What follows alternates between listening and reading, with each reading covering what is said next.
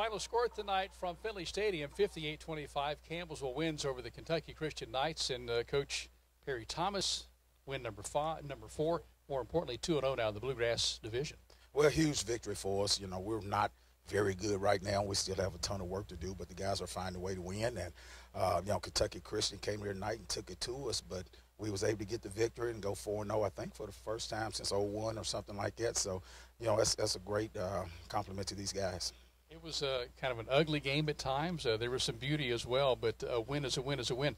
1,091 combined total yards for these teams, 195 plays. Your team ran uh, defensively 112. Was against it, uh, went up against 112 plays tonight. Yeah, it was. Uh, you know, at times I thought we looked really good and then we would just have breakdowns and uh, give up some yards or something and give up first downs or same thing on offense we would have a breakdown and not convert a first down or settle for a couple of field goals when we should be getting touchdowns but you know, at the same time, uh, Kentucky Christian got a little rhythm going, and they got some confidence.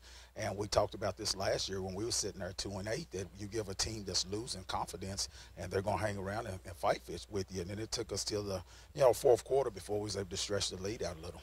Campbell's head coach Perry Thomas joining us. His team winning over Kentucky Christian tonight. Coach, uh, again, not trying to make excuses, but your team had that almost month delay between games. Uh, I'm wondering if that still may be carried over some tonight. Yeah, I mean, I think it still lingers. You know, we're still uh, off timing wise a lot. We're still off in our competitive uh, fundamentals, not not necessarily in our competitiveness. You know, we, we, we compete with you, but our fundamentals when we're competing against that top notch uh, talent, uh, we're still a little off with that. But you know, taking nothing away from Kentucky Christian, those guys came in with a great game plan. They got a rhythm going, like I said. You know, a big play. They got the pooch kick that we didn't cover, and uh, you know they they took it to us. Uh, fortunately, we was able to get the victory and go 4-0, but we have some things that we have to fix. And, you know, the, at some point that layoff can't keep lingering with us. You know, at some point we have to step our game up and improve to the level that we need to be at midseason. A couple of Hunter Brown passes were tipped and intercepted. Uh, not much you can do about that, but uh, that stalled you out a couple of times in the first half. Yeah, we missed some reads on some things. We missed some blocks on some things, and uh, you know, it, it, led to a couple, I think, three field, uh, field goals, and, and also, you know, a couple of times where we had to punt the ball and just didn't convert. So, you know, once again, that rhythm's off a little, and uh, you know, it's our job to fix it, and we will. The great thing though is we're fixing it being undefeated. And that's a lot better than you know being here two and two or one and three or or even three and one. You know you have to be able to figure out how to win. So as long as you're doing that, then things can't be too bad. Campbellsville wins tonight 58 to 25 over KCU.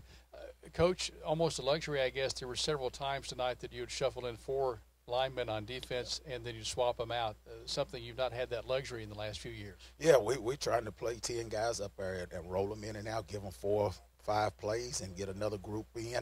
And I thought that paid dividends for us as the game went on, especially in that fourth quarter. In a tight game like this, it, it, you know, it played a big key. And we're trying to do the same thing with our three inside linebackers with Hollis, Manning, and uh, and Moore. Give them a little less reps on the field. You know, on a night where we had a lot of reps on defense, uh, I think it really helped us, and we're going to try to do that the rest of the year.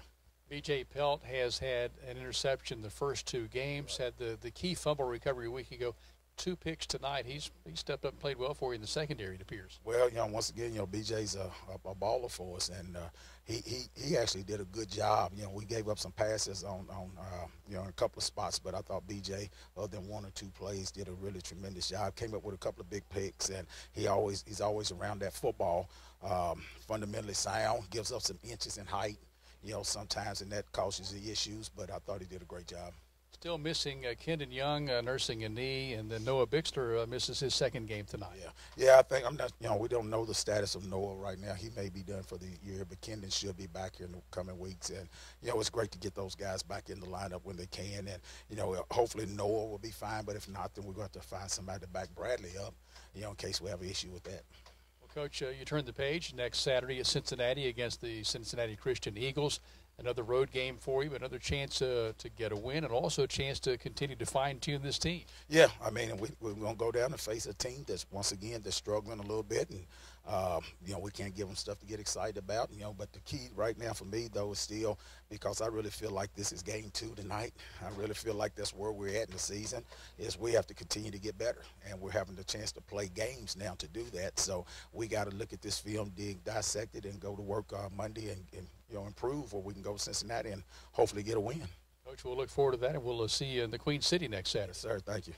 Coach Perry Thomas and his Tigers winning tonight over Kentucky Christian by a final of 58 to 25. We leave you now on TV. Stay connected. We'll be back after the break on radio here as Campbellsville wins over KCU under the lights here at Finley Stadium, 58 to 25.